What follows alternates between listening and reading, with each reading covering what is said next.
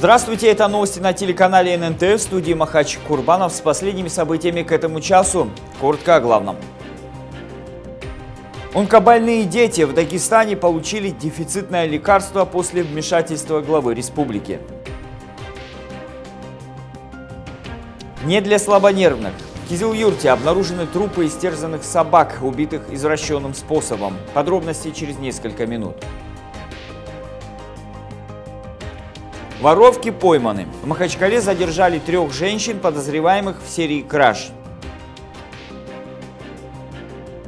За домашним теплом в Центр семейного счастья. В столице функционирует институт, где мужчины и женщины могут найти свою половинку и создать семьи. Новый антирекорд в республике. Штамм коронавируса омикрон продолжает набирать обороты. В Дагестане за сутки выявлено 655 случаев заражения. Это самый высокий показатель с начала пандемии. Из них 249 человек госпитализировано и 5 умерло. Вместе с тем выздоровел 121 пациент, а число привитых в регионе достигло почти 1 миллиона 50 тысяч человек. Такие данные приводит оперативный штаб по недопущению распространения коронавируса на территории республики. Напомним, ранее в Рио министра здравоохранения Дагестана Татьяна Беляева заявила, что обстановка в регионе крайне осложнилась. По ее словам, количество вызовов врачей на дом выросло до 200 раз в сутки и продолжает расти. Главе Дагестана поступила информация, что больные дети в республике остаются без жизненно важных препаратов. Сергей Меликов взял ситуацию под контроль. При помощи благотворительных фондов онкобольных детей обеспечили лекарствами. В детскую республиканскую клиническую больницу имени Кураева в отделении онкологии, гематологии и химиотерапии передали 86 флаконов внутривенного иммуноглобулина. Более подробно расскажет Асель Манапова. Он заболел в июне у него гланды появились, лимфозные узлы. Лечились мы в районе неделю, нам поставили, они полностью не узнав диагноз, нам это сделали, электрофорез сделали 10 дней. Из-за этого это, вся эта болезнь протекла и по костям, и по крови. После многочисленных обследований и сдачи анализов стало известно, что у ее десятилетнего сына рак крови. Этот злосчастный диагноз полностью изменил их жизнь. С сентября прошлого года мальчик на непрерывном лечении. Были и критические моменты состояния здоровья Магомеда, но ситуацию удалось стабилизировать. Когда, казалось бы, все самое страшное позади, появилась другая проблема. Жизненно важный препарат для лечения мальчика исчез на рынке лекарств. Мы занимаемся лечением а, онкологических детей и детей с заболеванием крови. Весь этот контингент – это иммунокомпрометированные дети, у которых ослабленный иммунитет. И когда мы проводим а, химиотерапию, то нам, нужна, а, хороший, нам нужен хороший арсенал лекарственных препаратов, которые бы поддерживали иммунный статус, которые позволили нам провести химиотерапию на достаточно высоком уровне, без перерывов, без снижения доз.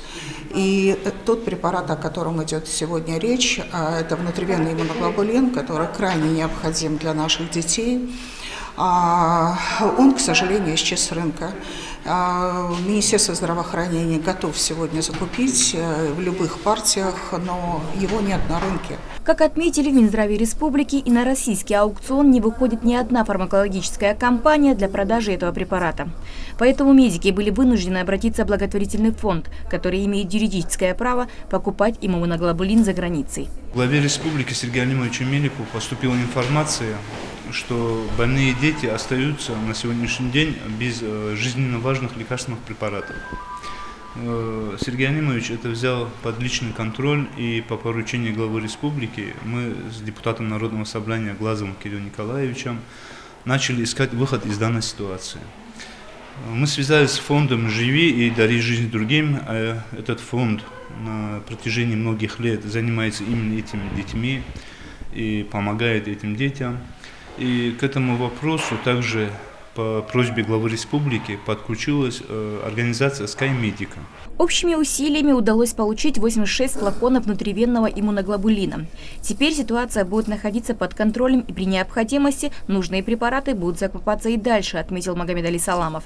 Ну а пока Магомед, как и другие онкобольные дети в республике, может и дальше продолжать свое лечение. Вот уже у нас третий блок сейчас идет по протоколу. И состояние стабильное, нормально. Каждый день у нас проверка, уходы, анализы. Смотрят прям идеально, очень хорошо. Мы очень э, довольны нашими врачами. Прям все хорошо у нас пока. Потихоньку, потихоньку это иммуноглобулина вот насчет этого иммуноглобулина мы просили, чтобы нам помогли. Вот один раз покапали его по Смотря на анализы, они капают нам. Отметим, что проблема нехватки жизненно важного лекарства сложилась не только в нашей республике. Дефицит иммуноглобулиновых препаратов специалисты связывают с пандемией и сокращением объемов донорской плазмы, из которой получает этот иммуноглобулин. Асильман Апамурат Мигбарсов, новости ННТ Махачкала. Каспийске на территории Центральной городской больницы построят дополнительный корпус станции скорой помощи, поликлинику, а также административный корпус на 140 койко-мест. Об этом рассказал представитель Минимущества в ходе осмотра земельного участка. В целях проектирования данных работ распоряжением министра по земельным и имущественным отношениям Республики Дагестан Заура Еминовича Еминова Образован земельный участок и предоставлен безвозмездное пользование государственному казенному учреждению дирекция по моногородам Республики Дагестан. Земельный участок площадью 2,4 гектара. Ну, мы очень рады действительно, что э, здравоохранение, на здравоохранение города Каспийска обратили внимание. Это будет большое подспорье. Я думаю, если появятся здесь новые корпуса, я думаю, что и лечебная деятельность и оказание медицинской помощи выйдет на другой уровень. Центральные улицы Махачкалы дезинфицируют. Мэрия столицы Дагестана приняла решение возобновить обработку на фоне нестабильной эпидемиологической обстановки по коронавирусу и ОРВИ.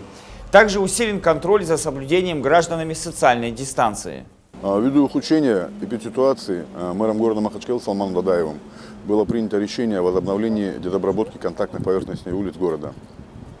А параллельно усилены все антиковидные мероприятия, мониторинг соблюдения режима QR-кодов, а, а также масочного режима в общественном транспорте.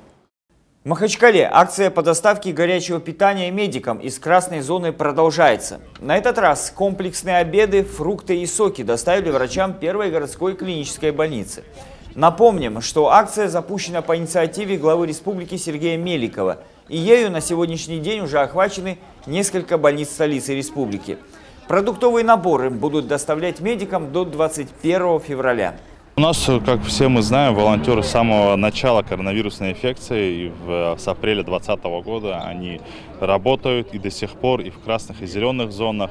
Здесь, конечно, тоже они помогают и, и, и, и бизнесмены, и меценаты, которые мы всех очень, всем очень благодарны, потому что даже некоторые, видя, что акция проходит, сами присоединяются, звонят и готовы э, оказать поддержку в этот период врачам, быть полезными, чтобы э, врачи могли э, как бы с активно подойти к своей работе и чувствовать поддержку от населения, что они не одни, что все мы вместе в борьбе с этой вирусом. Задавил и уехал. Сотрудники ГИБДД задержали нарушителя, скрывавшегося с ДТП. Накануне на улице Джабраилова водитель, управляя автомобилем «Мерседес», наехал на 60-летнюю махачкалинку. От резкого удара она скончалась на месте. Известно, что при этом женщина переходила дорогу по пешеходному переходу. Водителя нашли по горячим следам, им оказался житель поселка Кяхулай. Возбуждено уголовное дело. В Кизил-Юрте завелся живодер. Накануне на территории садового общества строители были обнаружены трупы шести истерзанных собак. По результатам исследования был установлен факт причинения насильственной смерти. У животных выявлено множество тяжелых ран, шея обмотана веревкой, глаза выколоты, а у некоторых отсутствуют органы тела. По неподтвержденным данным, их убили после нападения на местное хозяйство. Собранный материал по данному факту направлен в территориальный отдел полиции для проведения процессуальной проверки. Говорится в сообщении пресс-службы мэрии Кизил-Юрта. Полицейские Махачкалы задержали троих женщин, которые занимались серийными кражами в общественном транспорте и в магазинах города. Под разными предлогами ему удавалось усыпить бдительность потерпевших и украсть ценные вещи из карманов. Их действия попали на камеры видеонаблюдения. В ходе расследования сотрудниками уголовного розыска были установлены личности карманниц. Ими оказались жительницы Махачкалы. На данный момент удалось выяснить о трех фактах преступления. Это кража двух смартфонов общей стоимостью 185 тысяч рублей и наличных денег в размере 8 тысяч рублей. Возбуждено уголовное дело. В отдел полиции вы за что доставлены? За кражу. Знаю, что сорвала в маршрутке, то ли в метаннике, ничего такое было. Но это произошло чисто случайно. Девушка зашла в маршрутку. Я увидела у нее телефон в кармане забрала. Находясь в маршрутке, я отвлекала тетя воровала. Отвлекала тем, что якобы выхожу из маршрутки. Расскажите, за что вы э, задержаны? По краже телефона. Один в аптеке украла, а второй в маршрутке. В регионе продолжается борьба с незаконными майнинг-фермами. На этот раз криптодобытчиков выявили в Ленинском районе. Для осуществления своей деятельности злоумышленники миновали приборы учета и подключились к электросчету многоквартирного дома. Эта деятельность приводила к ухудшению качества и к перебоям электричества у жильцов. Администрация Ленинского района в рамках деятельности комиссии по профилактике правонарушений совместно с сотрудниками горэлектросетей выехали на место для разбирательства. По всем выявленным фактам собраны материалы для принятия процессуальных решений. Сумма ущерба будет установлена после оценки специалистов. Не дает доступа Нет, туда. Ну, здесь согласно закону, они, если даже ей сделали, может, сети кто-то сделал не документы, у нее должно быть подключение не от общедомового щитка. Они не имеют Или со столба, или с Ну, трансформатора конечно. Смотри, входные группы у нас все нормально. Общая нагрузка. Вот, 87. Вторая фаза 84. Третья фаза 84. Это общая нагрузка. А теперь чисто Регион. маленький. 52. Смотри. 49. 49.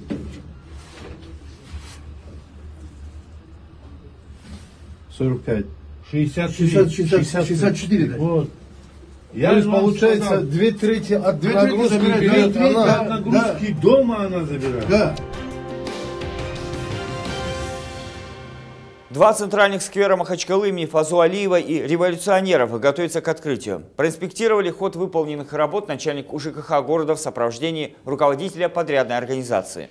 Строительно-монтажные работы почти завершены. Производится установка объектов уличного освещения. Высажено порядка 300 зеленых насаждений. Уже функционируют детские игровые площадки с безопасным покрытием. В скверах мы провели зонирование, есть зона отдыха для родителей и малышей. А, Есть воркаут-площадки, есть летний мини-амфитеатр. Более 100 малых архитектурных форм мы планируем установить в ближайшие дни. После чего скверы будут открыты для посещения горожан. Реконструкция на завершающей, на завершающей стадии. В принципе, уже где-то несколько дней мы э, полностью завершим проект. Э, Идут, э, занимаются уборкой, вот сейчас наши рабочие. И, в принципе, несколько дней, и я думаю, мы закончим полностью реконструкцию. Основные работы все завершены. Укладка плитки, резиновое покрытие, мафов, э, озеленение. И новые вот освещения будут полностью по кругу, э, хорошего качества. А Также э, малые архитектурные формы, вот если посмотрите по всему кругу у нас для детей и для горожан. Э, новая плитка по всему периметру, резиновое покрытие для того, чтобы там дети бегали э, по нему. Э, в принципе, все новое здесь как бы. В Махачкале функционирует Институт семейного счастья «Уют», где мужчины и женщины могут найти свою половинку и создать семьи. Помимо этого, в центре работают психологи, которые помогают разрешить семейные конфликты. Подробности узнавал Хамза Нурмагомедов. Институт семейного счастья открылся относительно недавно, а именно в ноябре прошлого года. Однако за это время уже успел принять десятки людей. Пока большинство запросов на создание семьи, по словам руководства центра, оставляют мужчины. Заполняются анкеты, и анкеты у нас, вся информация строго конфиденциальна, то есть у нас э, анкеты видим только мы сами. Э, мы сами подбираем подходящие анкеты, и уже э, это первый этап. Второй этап мы когда уже подобрали, созваниваемся с теми, кого мы подобрали. Если они довольны описанием анкет, э, происходит встреча у нас в центре при психологе и при мне. То есть наедине встречи не бывает у нас. Если все устраивает, все нравится, можно заключить брак. Анкету также можно заполнить онлайн. Ссылка на сайт закреплена в инстаграме официальной страницы семейного центра. Помимо этого работает контактный телефон, через который можно задать по теме интересующие вопросы. Семейные пары создаются по нормам ислама. У нас с женщинами работают наши сотрудницы женщины. Мужчин принимают наши сотрудники мужчины. Вся информация строго конфиденциальна, как я уже говорила, то есть не стоит бояться информацию, фотографии, номер, все вот это у нас в компьютере, никто этого не видит. К нам обращаются люди не только с Дагестана, даже не только с России, но самый главный э, вот этот момент, что когда мы их позовем на встречу, они должны будут прийти. То есть мы не работаем дистанционно в общем. То есть первый этап заполнения, он может быть дистанционным, а в дальнейшем нет, надо будет приехать сюда. Помимо возможности создать семью, здесь оказывают психологическую помощь два специалиста – мужчина и женщина. Они помогают людям, у которых возникли сложности в браке, разрешать их конфликты. Мы в первую очередь э, пытаемся выяснить, в чем проблема. То есть сначала беседа, в беседе мы выявляем проблему, затем психолог пытается э, показать этому человеку, кто обратился, либо пара, либо человек, проблему саму, чтобы он сам увидел ее. Увидел проблематичность проблемы своих действий, сам что увидел, что он что-то не так делает или правильно делает, а потом э, подтолкнуть его, чтобы он увидел решение ситуации. То есть мы ему не даем даже практически советов. Мы пытаемся его подтолкнуть. Но если это идет решение шариатских каких-то моментов, мы ему четко говорим, здесь так-то правовые нормы шариата, где муж так должен делать, или жена так должна делать. Институт семейного счастья «Уют» расположен на территории Джума мечети Махачкалы, а точнее в здании администрации мечети по адресу Дахадаева 136. Именно сюда можно обратиться за помощью психолога или по вопросам создания семьи. Хамзан Нурмагомедов, Салман Гитехмаев, Мурат Бигбарзов, телеканал ННТ, Махачкала.